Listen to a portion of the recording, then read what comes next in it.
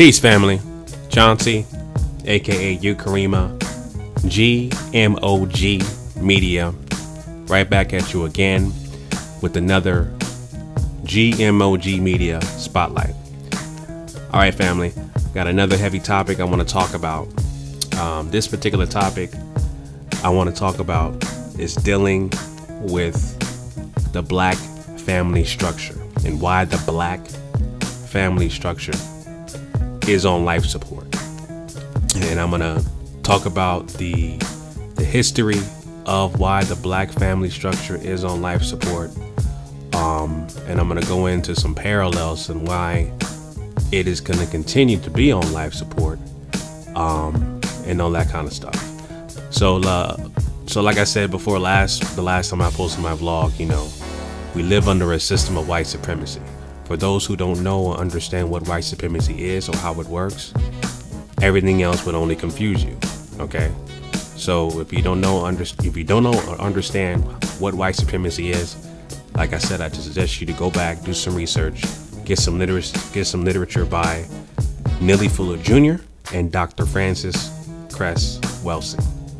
All right, just to get you, you know, up to speed on some things. All right, so uh, I wanted to talk about this topic. Number one, the black family structure um, and why it is on life support and will continue to be on life support because we live under a system of white supremacy.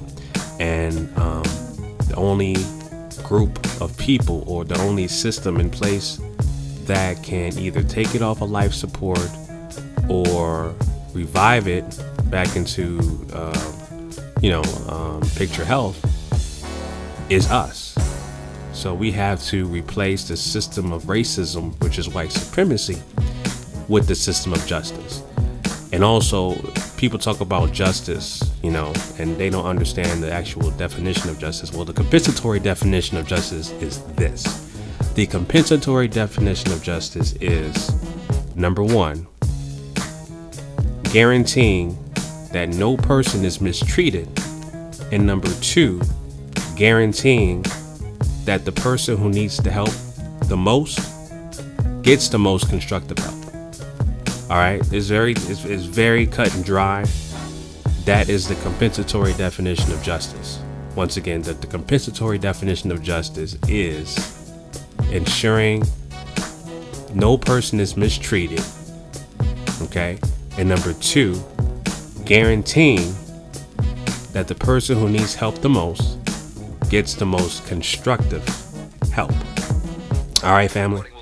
So um, I'm gonna break this down with the uh, the black family structure. Now, me personally, you know, I've been married for 11 years. Have three beautiful uh, children, three beautiful boys. Uh, you know, marriages are not perfect at all, but uh, you know, I've been married for 11 years, happily married, um, and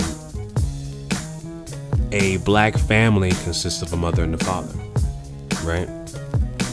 That's a household the mother and the father. Now, because we live under a system of white supremacy, proverbially, we I say that I am the head of the household, right? Right? Because I'm a man and financially, I am the head of the household, proverbially. But because we live under a system of white supremacy, technically I'm not the head of anything. The people who are in charge of the wealth and the resources and the military of the world are the white supremacists. So they dictate what you do on a day to day basis. Okay, everything is controlled by them. Those are actual facts. Everything is controlled by them. And you can say, hey, you know, I, I work for myself, so I don't have to I don't have to follow orders from the white man. Well, technically you do because your customers, your clients, they work for quote unquote the Europeans, the white the white man. Everybody does. It's just those are actual facts. So you can't really escape that. All right. So, like I said, I'm gonna go back to the topic: um, why the black family structure is on life support. So what I want to do is I want to take it back to 1965. Want to take it back to 1965. Crucial, crucial year. I want to take it back to the 60s, particularly 1965. The reason why that particular year is important is, is a couple is a couple of things. Now, if you go back on my blog, on my uh, older blogs on GMOG Media TV, I talked about the Kerner Commissioner report.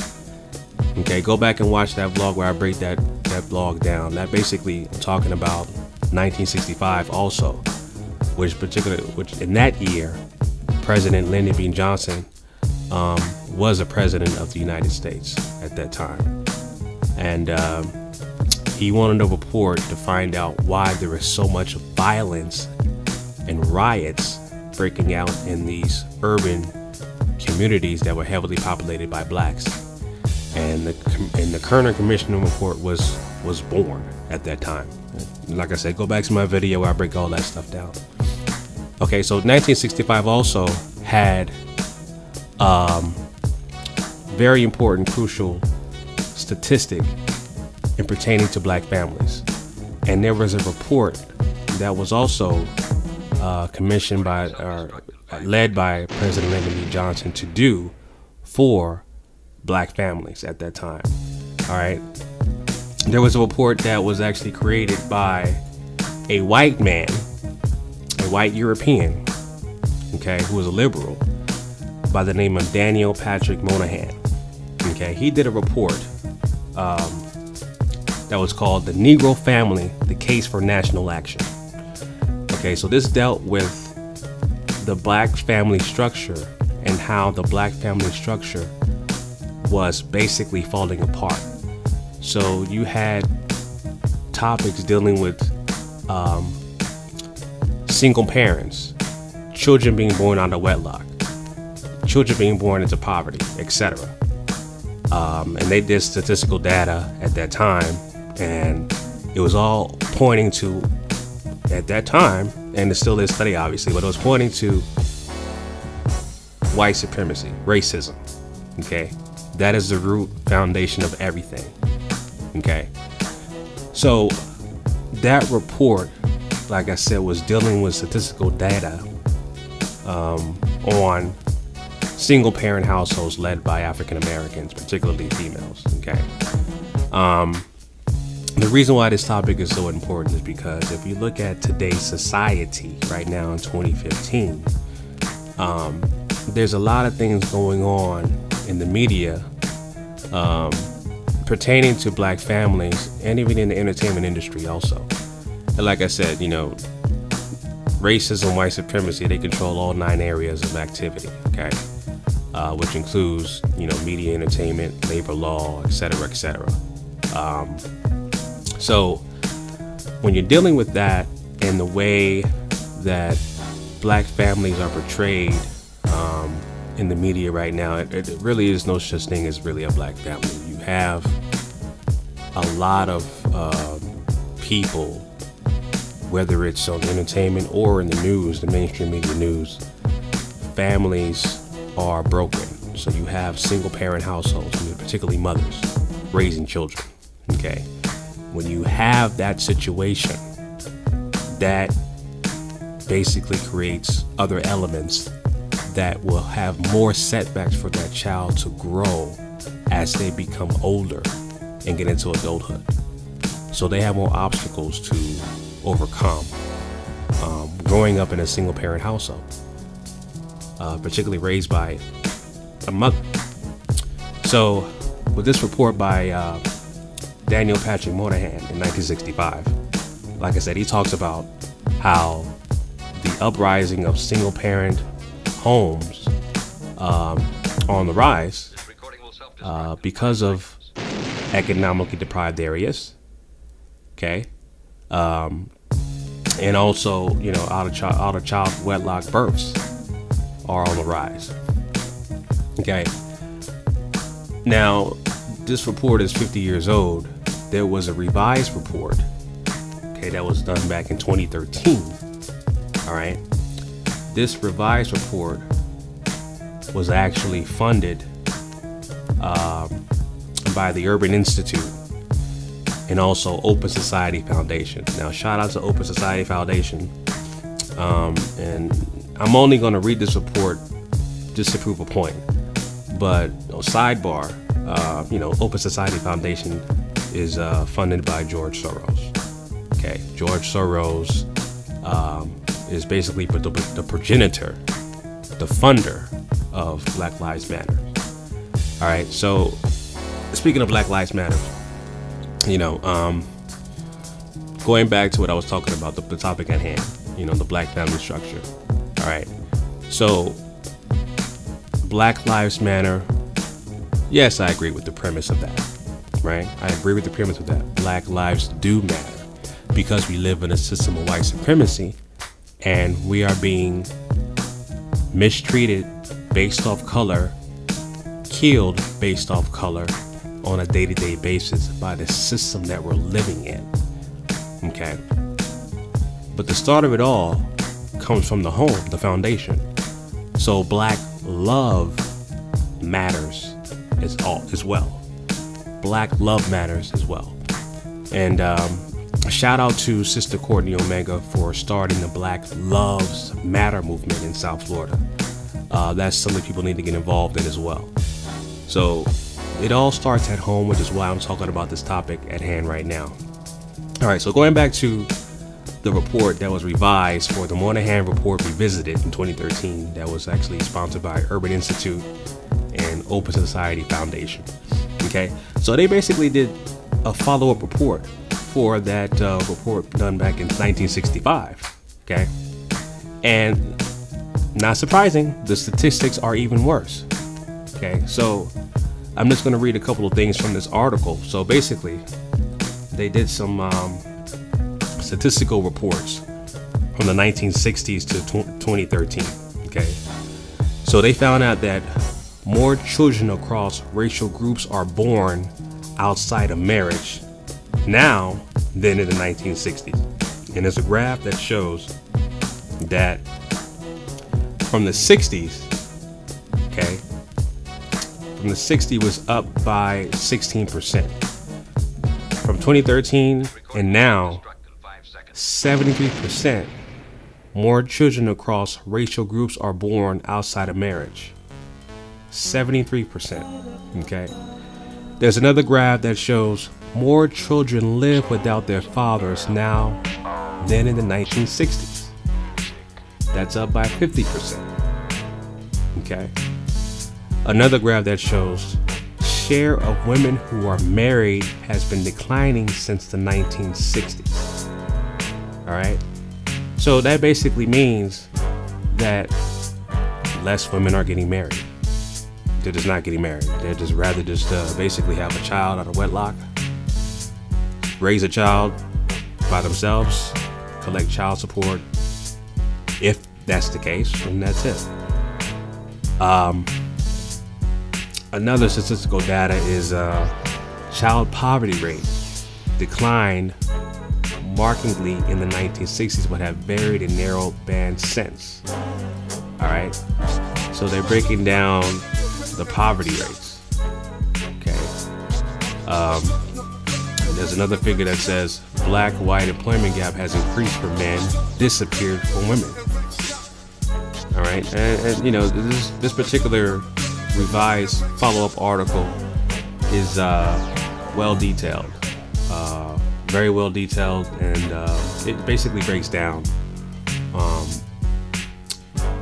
what happened in 1965 and what's happening today, and all this, all the statistical data is just skyrocketing at all-time highs. Okay, so when you have a situation where the black family structure is basically the woman, the head of the household, raising children by themselves, like I said, you have more obstacles that your children would face because of the element that they're in. So when you have a black family, a total black family, a male and a female that are married raising children, you have less obstacles, obstacles rather, to overcome. Number one, when you have a black, a, a black family, economically, you have more income, right? Right? When you have a male head of the household, a female, both working, or the male is the breadwinner, female is a stay-at-home mom or even homeschooling their children. That's more of a black. That's more of a structure, right? So they're getting the best education that they need. The father has a good job. They're stable. They have a single-family home, etc., etc. Right? So they have less obstacles to overcome in their environment as opposed to a single-family mother who's raising a child in a lower income area, higher crime, school system is probably well we I live in the state of Florida, so when you live in a low poverty area, that particular school is most likely an F school. So you have schools that are graded by the School Board of Education in the state of Florida, and they're graded from A to F. So when you live in a lower income area, you have lower graded schools, which you would get worse education, right?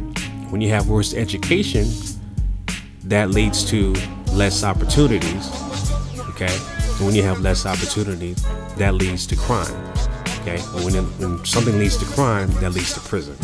Okay, so that basically is a pipe to prison system that is concocted and developed by racists and white supremacists. So that also includes gentrification as well. So you can have pockets of, and I don't like to say black communities, but you have pockets of black people, or I should say, people of African descent that are heavily populated in certain areas of urban cities. Okay, they can get sprawled out any any time. So if a developer, a white-owned developer, a white businessman wants to redevelop this certain section of town, you know, to bring in more tourists and to generate revenue for the city, they can gentrify that area, push out the lower income people out, spread them across another part of town. Okay, those people may have section be on section eight, etc., etc. They push them out another part of part of town. That particular town they go to, crime starts to rise because you have the section eight uh, folks, the lower income folks living in that area, and that particular area starts to deteriorate if it's not if, if it's not kept up well. But most likely it will be turned down because of the gentrification that's taking place. All right, so that's one element. All right, of why the black family structure is on life support. Now, the other element I want to talk about is um, the homosexual agenda. All right. And this is important because I want to talk about the homosexual agenda and why the particular black family structure is on life support because of the homosexual agenda being pushed upon mainstream media. See, prior to 1973, and I'm going to go back to 1973 and why that's, that year is important prior to the early 1970s, talking about homosexuality was a taboo, was a taboo subject. You didn't really hear about it, you didn't really read about it. Um, no one confessed to being homosexual um, on a mainstream level. It was such a taboo subject. So taboo that psychologists deemed homosexuality as a mental illness. All right. This was uh, concocted or listed in the Diagnostic Statistical Manual for Mental Disorders, okay, by psychologists prior to the 1970s, okay? Now, going going forward to 1973, and that's a key year. So 1973 is when the gay rights activists decided to protest and pressure the, the DSM makers, the psychologists, take out homosexuality as a mental illness. The gay rights activists say it's not a mental illness. Okay? It should not be treated as a mental illness at all. It's a normal way of life, a normal way of thinking. Okay? So 1973, the DSM, or uh, the DSM 2 was forced to remove homosexuality as a mental disorder. Okay, so that family was the start of the homosexual agenda. All right. Again, the black family structure consists of a male and a female, right? Now, today, a family can consist of a single mother, a single father, a male and a male, right? Because of gay marriage, a female and a female because of gay marriage, a so called transgender, okay? They can marry someone, so on and so forth. So you have so many different variations of a quote unquote family structure. Um, because of this, the homosexual agenda has been a such a powerful movement since the 70s that they changed the landscape of the family structure till this day and it's continuing to change okay? It's, it's continuing to change to change the face of what a family should look like. So again the, the uh, a family a black family is a male and a female. But as of today going forward a family can be anything basically. A single mother like i said uh, two males two females etc etc all right? Um now another thing i want to bring to the table also is not only the homosexual agenda right? But also uh, foods. Dealing with foods dealing with you know as as of today you know when you're eating foods and things of that nature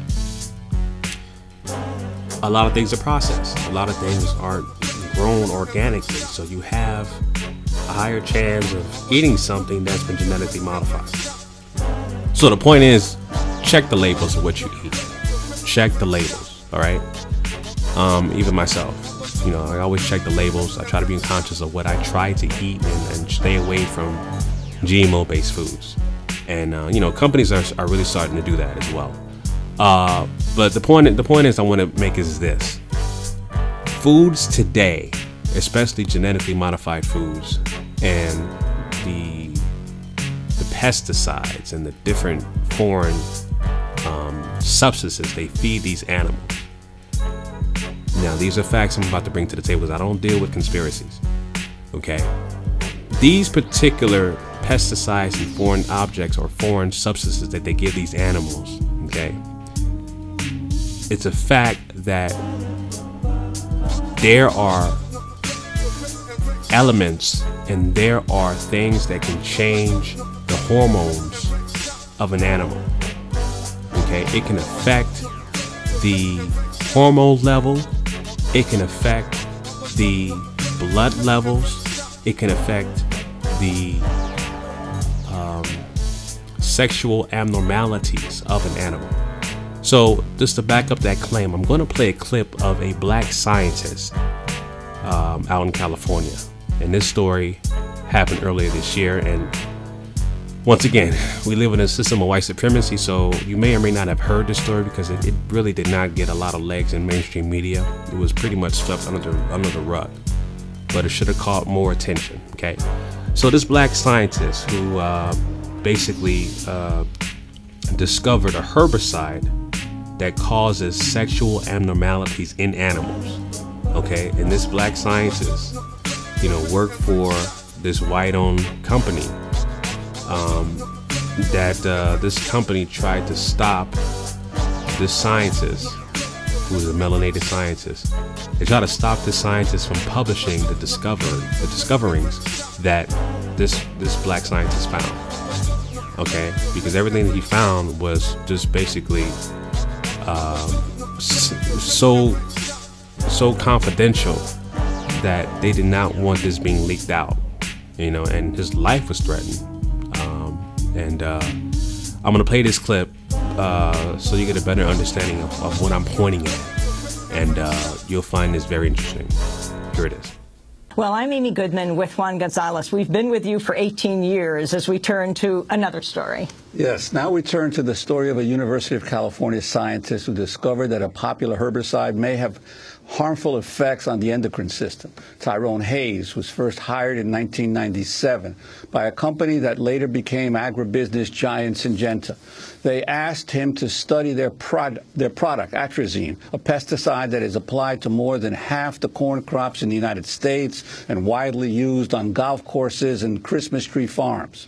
But after Hayes found results that the, the manufacturer did not expect, that atrazine causes sexual abnormalities in frogs and could cause the same problems for humans, Syngenta refused to allow him to publish his work.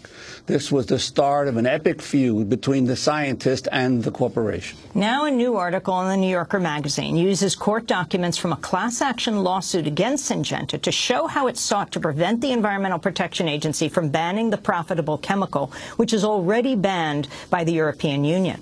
To start with, the company's public relations team drafted a list of four goals. Reporter Rachel Aviv writes, quote, the first was, quote, discredit Hayes. In a spiral-bound notebook, Syngenta's communications manager, Sherry Ford, who referred to Hayes by his initials, wrote that the company could prevent citing of TH data by revealing him as non-credible. He was a frequent topic of conversation at company meetings. Syngenta looked for ways to exploit Hayes' faults, problems. If TH involved in scandal, Enviros will drop him, Ford wrote.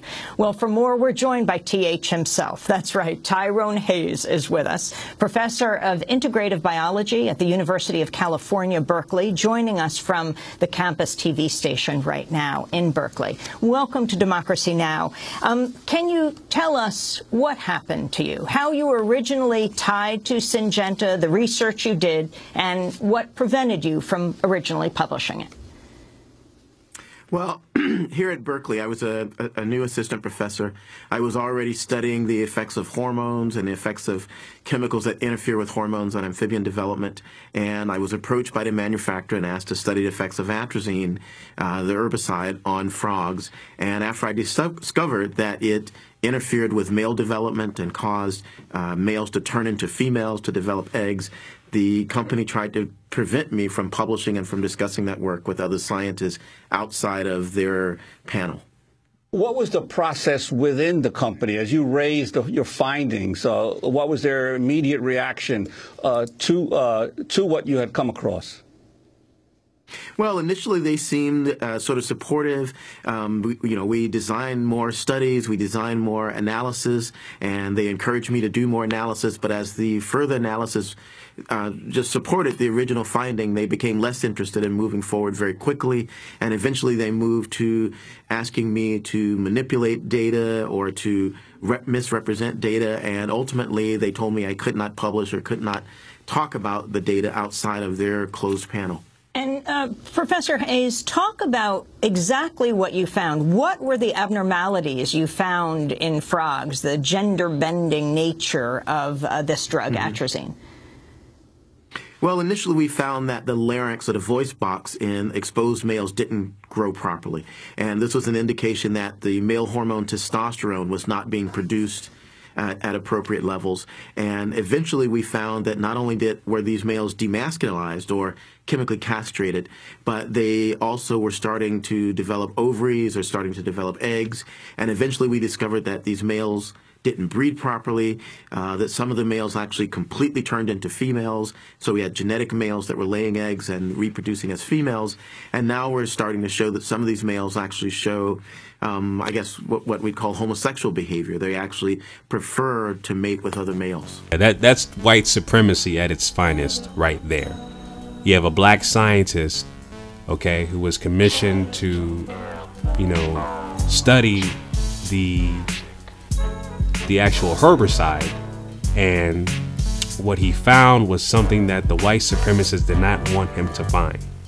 Okay, um, and that was mind-boggling to discover that what they use can turn a male animal to a female and vice versa. All right, so why is this why is this important? Why is GMO based foods, okay, homosexuality important for the black family structure being on life support. It's simple, going back to what I said before, the family structure consists of a male and a female, not a male and a male, not a female and a, and a female, not a trans, a so-called transgender. Okay, it's a male and a female. All right. So when you have those particular elements in place, you have less obstacles for your children to overcome when you have a totality of a family structure. Okay. When you don't have a black family structure, you have more obstacles to come, which was shown in the report that I that I showed you from the Moynihan report and the one that was revisited uh, by the Urban Institute and Open Society Foundation. You have more obstacles to overcome because of economics and systematic racism, which is white supremacy. All right. That is the reason why the black family structure is on life support. You have the homosexuality agenda being pushed upon you. So you have your children looking at TV if they're watching TV or social media, but they'll find out one way or another. So the gay agenda is everywhere. You're gonna be asking questions. Why are why are these two men, you know, on TV raising this child? That's not a family. All right. That's just my opinion. That's not a family. Um, but that's considered a that's considered a, a family in, I guess, the mainstream media's uh, part protection or depiction rather of a family structure, right? And then on top of that, you know, when you live in, and it's it is it is correct, and I'm gonna paint a picture also with this uh, illustration. When you live in a lower income area or an economically deprived area, what do you see outside of where you live as far as what you can eat? You have fast food restaurants, right? You have McDonald's. Wherever you live, you may have a chicken spot, whether it be KFC, Popeyes, uh, Bojangles, or something like that. Um, you have foods that are less healthier, more processed, more saturated, things of that nature. And on top of that, when you have these particular fast food restaurants in lower income areas, you're not on the top of that, you're not going to see healthier food alternatives such as a Whole Foods market, such as a Trader Joe's, such as a Gelson's in the lower income areas. Why? Because first of all, they don't accept EBT cards. They don't accept Section 8 vouchers. Okay? It's just that simple. Also, if you notice, you can go to anywhere in any quote unquote urban community area. If you go to South Florida, we have a local uh, grocery called Publix, or uh, better yet, I'm gonna I'm gonna go with Winn Dixie. So we have a, gro- a local grocery here called Winn Dixie, right? So if you go to a, a Winn Dixie, that is in a lower income area. Okay, you go inside there, you're going to see certain foods, right, that are there. You're going to see certain sections in the store that are there that are not even located or that not even positioned in another part of town that is predominantly white, right? You're not going to see those kind of things there. The way the store is laid out, the way the store is, even the customer service. If you go to a predominantly white area in that same Winn Dixie store, the total experience is, is different. It's completely different. And, and that's for a fact. I've seen it firsthand. Those are facts.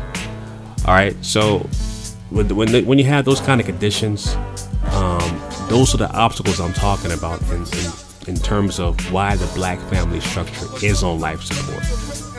Because of the obstacles of the foods that you eat that can cause different abnormalities, um, sexual abnormalities, um, any kind of health abnormalities, they can cause major problems, lifelong problems. Not to mention vac- vaccines, but that's a whole nother topic of conversation. Okay, so I'm going to stay with the topic at hand. The homosexuality agenda, okay, is causing the black, is causing the family structure, particularly the black family structure, to be no longer male and female. It could be basically anything. You have GMO based foods that can cause abnormalities. And on top of that, goes back to systematic racism, which is white supremacy. They can pull the life support system. They can pull that plug anytime they want because they control everything.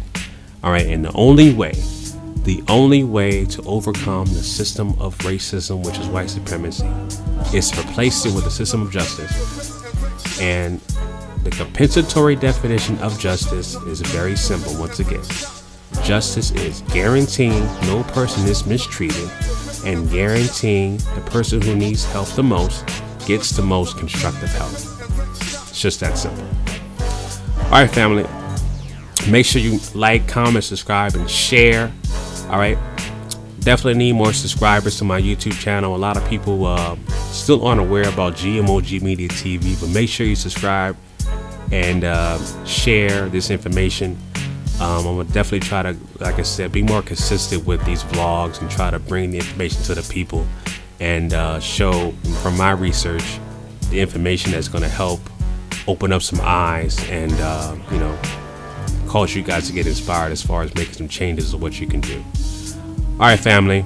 Once again, Chauncey, aka Ukarima, GMOG Media, signing out. Peace.